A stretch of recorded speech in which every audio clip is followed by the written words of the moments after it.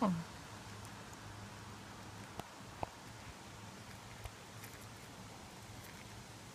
Chipmunk cam. Boob cam. Chipmunk boob cam.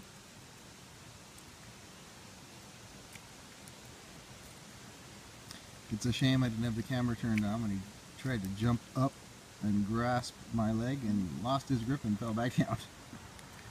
But I didn't get to really see it. I just heard it mostly. Or she. I guess it's she. And her little hairline thing from digging them seems to be almost gone.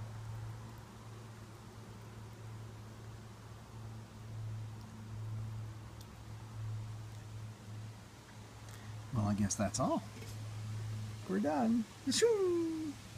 Gone like a speeding bullet.